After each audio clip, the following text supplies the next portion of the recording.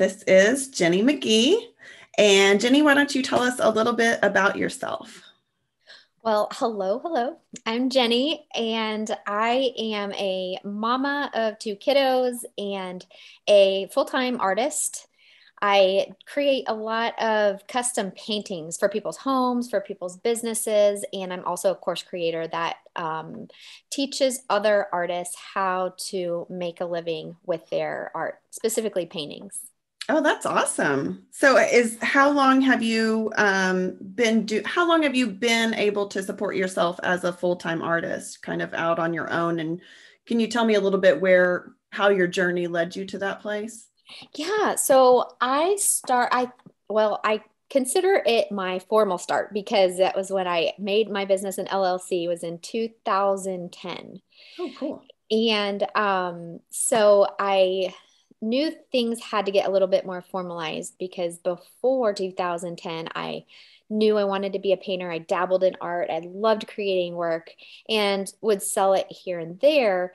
But my main job was a graphic designer at that time. So I didn't quite take it seriously until 2010. I was like, okay. I knew I didn't want to be a graphic designer anymore. I knew painting had my heart creating art was my passion and I just needed to try it. Plus, I had a pretty major health crisis at that time that um, was that, you know, that fire yeah. under my, you know what? Yeah. To get things moving and, and grooving uh, to follow my heart and my passion. So, um, 2010 is when I, I opened up a small studio in the town I was living in, in Columbia, Missouri. And I started to create pieces and paintings um, that utilized a ton of texture because I'm a real like textury person. I love it when you create something that you literally you just want to touch. So I um, loved putting a ton of texture and colors together and painting trees. So trees were kind of the very first subject matter um, when I opened my business that represented something very particular for me and something very important. Um, when it, they were trees were the symbol um, as I was getting healthy again, as I was going through a health crisis, trees became the symbol of strength for me. And um, all of a sudden like i started painting these trees and people were like really resonating with them and really loving the uh, the content of them and one of my favorite quotes at that time was um, the secret to the life of a tree is that it remains rooted in something other and deeper than itself. And i oh, think like thanks. Well and i think that no matter where you're at in your life or your you, your life journey you know we all have different hardships that we face and um, oftentimes we recognize through those hard times and those difficulties that we just don't get through them by ourselves right yeah. we oftentimes are shown something so much greater whether it's our community our friends our family our and or god that shows up in our life so as I was painting these trees, they started selling like crazy. And then I was like, okay, I'm onto something. I got to be in business. yeah, I have to make this formal. So that was my um, my first formal opening as a as a full time artist. So was that a gradual process, or was it like it kind of took off, and then you were just like, I am done with being a graphic designer. This is what I want to do. Like I know for sure it was a it was definitely a, gra- a gradual process for sure. I knew i wanted to study graphic design because it was like it was almost like i was ha- like studying it to be my backup plan. Like i i knew that i could get a job as a graphic designer anywhere. And it was my safety net but really that deep down longing and passion i had was to be a painter. So i was playing it safe which isn't a bad thing you know like yeah. i think that that's sometimes what we need to do in order to have like be in a place place of strength when the timing is right for us. Right. So I worked as a graphic designer for many years um, after grad after I graduated with that degree. Um, maybe like I would say for eight, nine years. I can't remember exactly, but around eight or nine years. And um, yeah, really wasn't until that kind of pivotal moment when I had that health crisis that it was like, okay, it's now or never. yeah, that makes sense. Yeah. Back to your original question, though, it's it was a process definitely to lead to where I'm at today, getting to follow my heart and passion. So, do you have any formal training like in painting, or is that something that you kind of did alongside your graphic design cl- like classes and stuff, or is is it just total hobby that turned into this? Well, um, that's a great question. I primarily studied graphic design, but I had about a year where I could take um, drawing classes and a couple painting classes. Um, so I did get to dabble in fine art in my college experience. Mm-hmm. And then when my husband and I moved out of country to a country called El Salvador, I was able to connect with a group of Salvadoran artists who many of them taught classes. So I was able to take a couple printmaking classes and, t- and um, really jump into opportunities living in Central America, learning from Central American artists. Wow, that's amazing. So, would you say that that has had an impact on kind of your style, or is it just kind of the technique that you've integrated, or is there anything that you specifically learned in El Salvador that you are now still doing today? Yeah, that's a great question.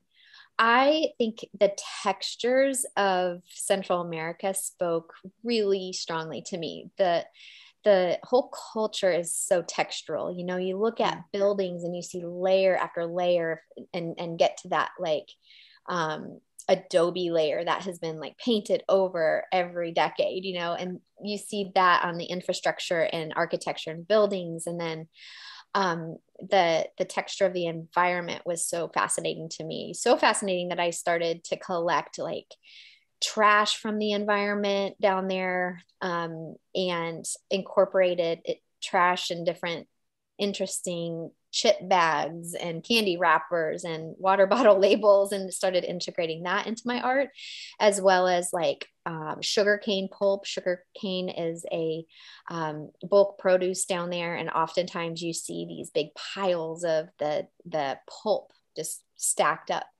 And uh, that that fascinated me to add that into my art. So definitely a big yes to to answer your question. The the experience living abroad in that region was influential, I think, in why I love to add so much texture and texture, layer. The tactile and yeah, that's awesome. That's interesting. So, what is the strangest thing that you've ever integrated into one of your paintings, as far as like as far as texture goes? the strangest thing. Well, um, mud. I the mud and clay in El Salvador is like this incredible, like rich red mud.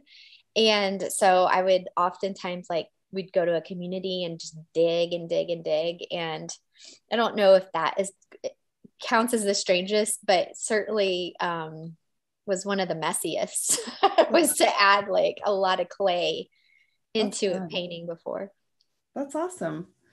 So I was just on your Instagram and I saw um, a recent tree that you just did. Um, it looks like for a, a, an older couple, oh, and it was oh, just yeah. really beautiful. So, um, what is one of like your favorite projects that you've done, or one that has like been so memorable that it's just like I did this custom work and it's like I will never forget this family or person or something like that. Oh, I think there's been many. It, it, I feel fortunate to say that there's been many, and I I can't think of one like in particular that stands out as my favorite because I love them each and every single one um, as their unique experiences. Um, I think when I get the opportunity to work with the people who commission or um, hire me to create a piece of art and I invite them to be a part of it. And they literally put their hands in the texture. The very first layer, the very beginning of my painting starts with um, texture.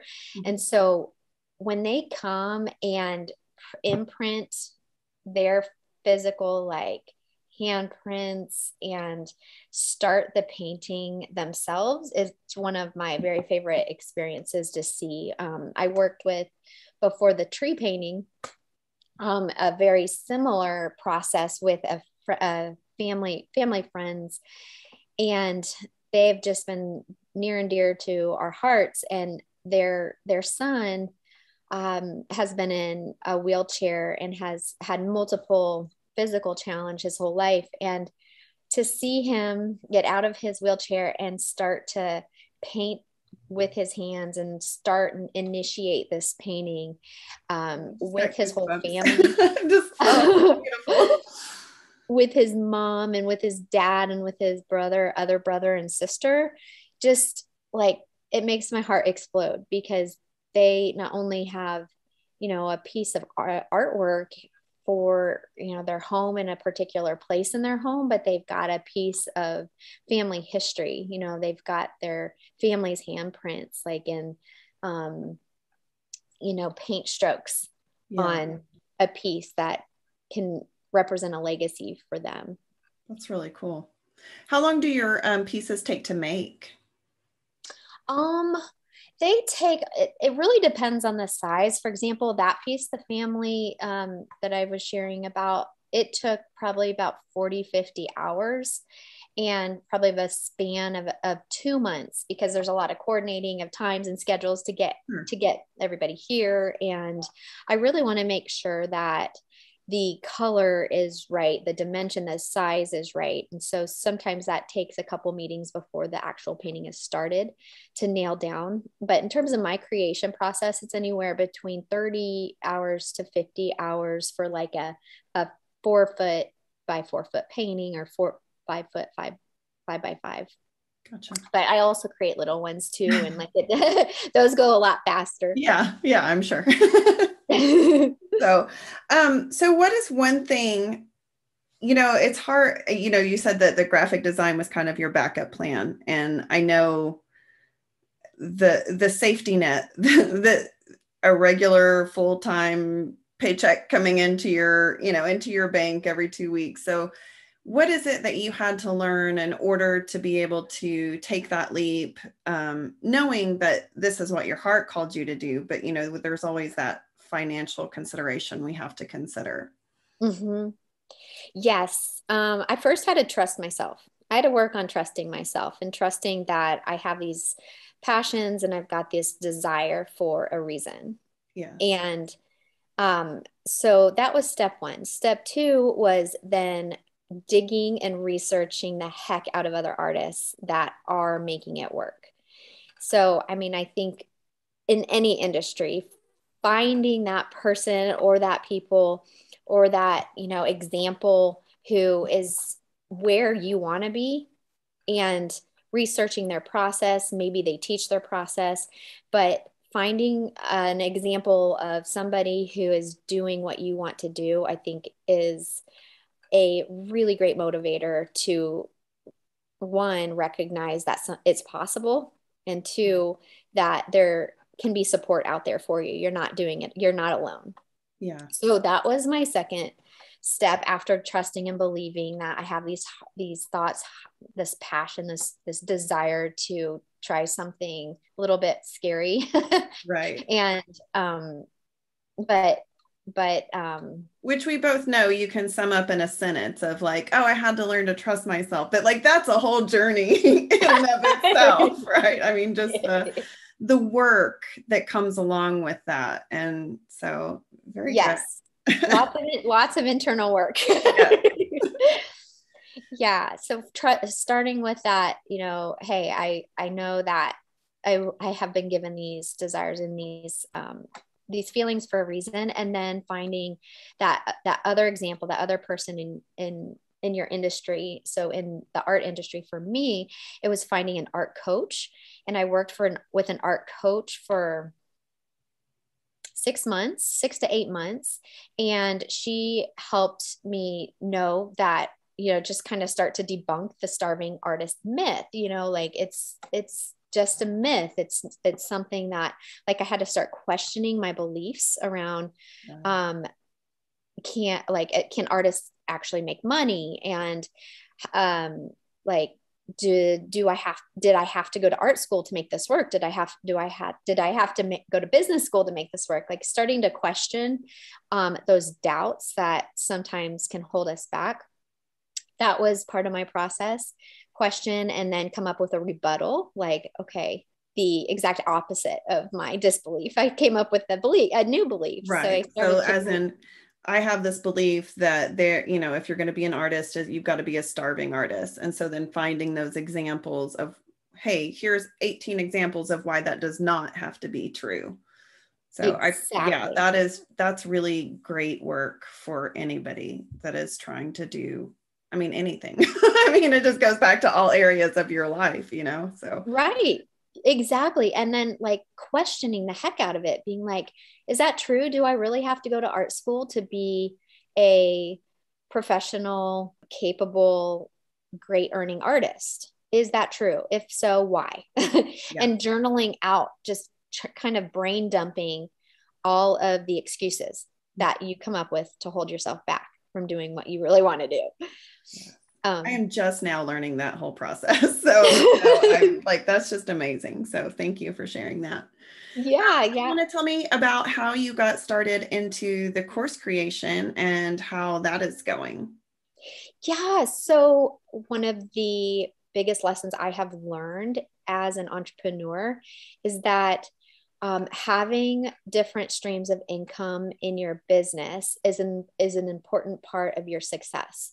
So just relying on one thing is it, it can make it very difficult. So course creation was kind of on my wheel with all my spokes of different um, aspects of my business, but I didn't know exactly when that would come about. I had been thinking about it for a couple years now and thinking, well, what is it that I could offer?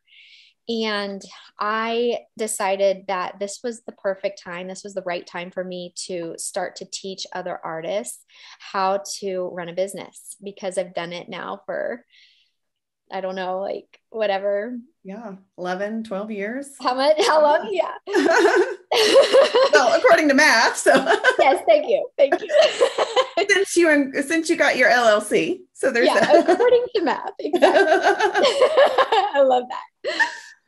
So so yeah, it's the right time. Like it, it wouldn't have been the right time for me, you know, five, seven, eight years ago. Um, but now it is. And I thought, okay, this is the perfect time to implement a course that I can pass on um, the, you know, the, the business legacy that I have built, the things that have worked, the things that haven't worked, the things that really can up level and get artists making money way quicker than what it took me to do. So yeah no paving that path. So this is uh, the course is for artists who are looking to make into a business. So this just like fits my audience perfectly. So that was awesome. So jenny if people want to find out more about you your courses your art all of those things do you want to tell people where they can find you Absolutely. So you can find me at www.artistjennymcgee.com. And on that first link on the website is the Profitable Artist Academy. If you are an artist and need additional support or would like additional support selling your artwork.